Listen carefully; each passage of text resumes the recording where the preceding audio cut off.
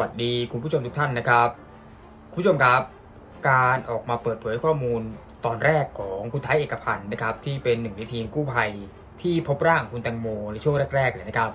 ที่ก่อนหน้าเนี่ยทางพี่ไทยออกมาให้ข้อมูลให้สัมภาษณ์ผ่านรายการรายการหนึ่งบอกว่า ในฐานะที่ตนเองเนี่ยเห็นร่างคุณแตงโมช่วงแรกๆ ที่มีการนำร่างขึ้นมาจากแม่น้ำเจ้าพระยา พี่ไทยบอกว่าเห็นเหมือนฟันหัก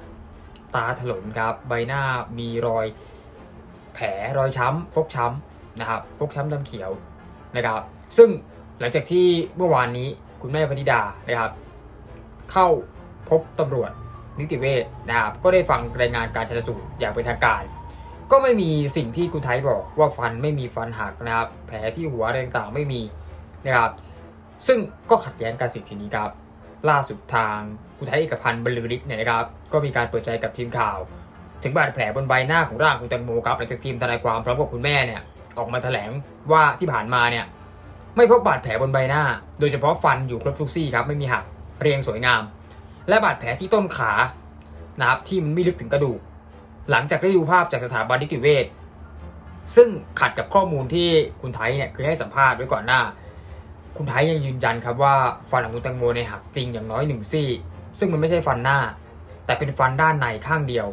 กับที่ดวงตาขวาปิด ข้างเดียวกันกับที่ดวงตาขวาปิด ฟันหัก ส่วนแผลที่ขาเนี่ยตนมองเห็นลึกไปถึงกระดูกจริงนะครับแต่อาจจะเป็นเส้นเอ็นก็ได้ เพราะมีสีขาวเหมือนกัน ซึ่งขณะที่ตนเองเห็นศพเนี่ยยังไม่ได้ทำความสะอาดศพนะครับ เพิ่งเก็บกู้มาเพื่อทำการถ่ายภาพตามกระบวนการทำงาน พร้อมกับถามกับทนายเดชาว่าได้เห็นร่างจริงหรือไม่นะครับนี่ครับคุณไทยก็บอกนะครับ คุณไทยยังบอกอีกนะครับว่าตนเองเนี่ยแค่ตั้งข้อสังเกตในสิ่งที่ตนเองเห็น ไม่ได้จะมโนขึ้นเองหรือว่าโกหกไม่มีส่วนได้ส่วนเสีย หากผลการชันสูตรของสถาบันนิติเวชยืนยัน เช่นนั้น ก็น้อมรับพร้อมน้อมรับการผลการชันสูตร โดยเฉพาะหากคุณแม่คุณแตงโมเนี่ยไม่ติดใจทุกอย่างก็ถือว่าจบ แต่จะอย่างไรก็ตามนะครับก็ต้องตอบคำถามของสังคมให้ได้ครับ เพื่อความโปร่งใสถึงสาเหตุการเสียชีวิตที่แท้จริง พร้อมตั้งข้อสังเกตว่าหากตนเองไม่เปิดประเด็นนี้เนี่ยป่านนี้เนี่ยศพของคุณแตงโมเนี่ยคงถูกเผาไปแล้วนะครับซึ่งหากท้ายที่สุดแล้วผลการชันสูตรรอบ 2 สรุปออกมาเหมือนกับรอบแรก ตนเองไม่จำเป็นต้องรับผิดชอบอะไร และไม่กลัวทัวร์จะมาลง